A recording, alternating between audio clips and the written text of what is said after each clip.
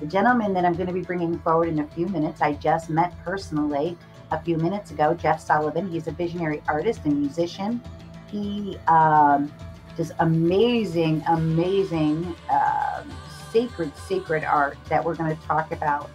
His art was featured on our March, April 2020 issue of Epic Tri County. Behind me, it is absolutely one of my favorite covers. I probably say that about all of them, but really, I'll never forget, and this is what I'm going to share with you.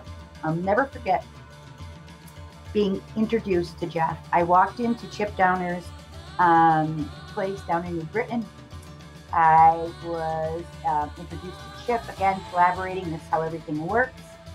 I walked into one of his uh, treatment rooms, healing rooms, whatever you want to call, and there was this amazing piece of art. Amazing. It almost it didn't almost, it did. It drew me in. It is a universe, it was a universe and is a universe within itself. And that universe hanging on the wall in Chip's uh, place drew me in. And I said to him, I said, who did that? Who is the artist? And he said, well, that's Jeff. He's a really cool guy in Connecticut. I said, you got to, we got to collaborate with him. He's amazing. His art is beautiful. It's alive. It's vibrating with love and peace. And I'm getting angel bumps just talking about it. And that's who I have to share with you today is Jeff Sullivan. Wait till you see the art when you visit his website. Till you see the art behind him. Okay? Not only is he an artist, he is grounded. He is full of wisdom. This is the energy that I felt when I just connected with him a few minutes ago. He's a visionary, and he is the like, poster child of Epic and the vibration of empowerment and inspiration. So give me a second. I'm going to bring Jeff forward. And as always, I ask that we give him some epic love and epic light. So let's bring Jeff forward. Yes, here you are. Hello. Good morning. Good morning. Good morning. Thank morning. you for that beautiful introduction. My goodness. You're welcome. I speak from here, similar to the um, art that you have behind you. You know, it's it's right from there that uh, my introductions um, flow, flow. You know, you can feel it. You can feel it. Yeah, it's like one of my favorite parts. You know, we had talked earlier. I don't really like to be scripted, um, and um, speaking from the moment and the heart is really what um, I thrive on. So thank you for sharing your energy with us. Um, I'm excited to hear about a little bit more about who you are, Jeff, and how your journey has evolved to where you are now. If you could share that with us, we'd appreciate it and receive it with honor. Thank you. Um, I'm also a very improvisational person by nature as well. So, scripts, straight lines, not so good with those. Yeah, as a child, I was always very creative. I enjoyed operating from a very magical, mythological, and imaginary world. Um, always had a deep connection with nature and animals.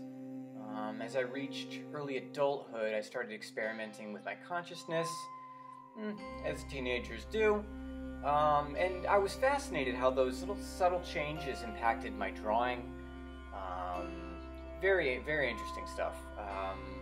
As I got a little older, after high school, I started studying music. I enrolled into the Hartford Conservatory, studied music and percussion um, in particular.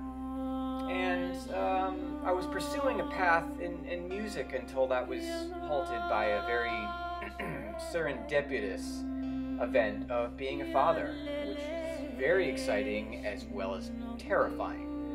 So, um, you know, I had to put my creative life on a shelf and seek work to provide for myself and my family.